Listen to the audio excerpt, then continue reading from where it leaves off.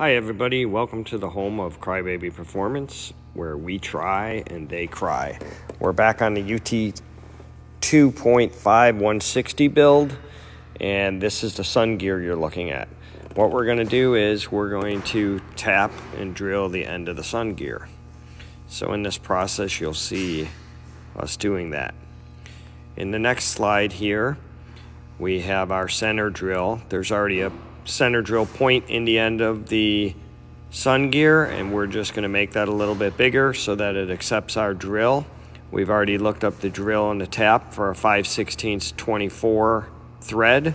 That's what we're going to use to um, tap the end. So after we get the center drill deepened up, made deeper in there, next slide we're going to drill the hole and then we're going to tap it.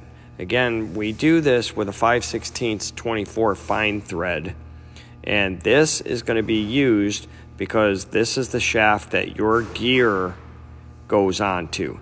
And while it has a slot in there to hold your gear, there's nothing there to prevent that from loosening up and walking off the shaft. And this has been a problem with these quarter midgets for a long time, that if the bolts come loose, then the gear hub walks off and then you lose your chain and sprocket.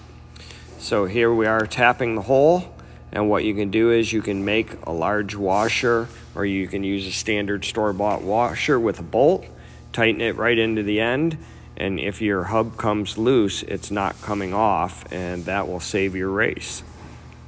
So here we're putting a little grease on the side cover that'll help our sun gear uh, poke through the seal and get all set up.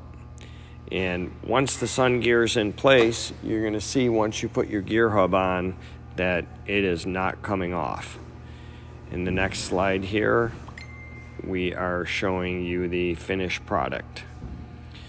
So with the engine mounted back on our stand, we have the gearbox all back in place. It takes 3.5 ounces of transmission oil it's a red.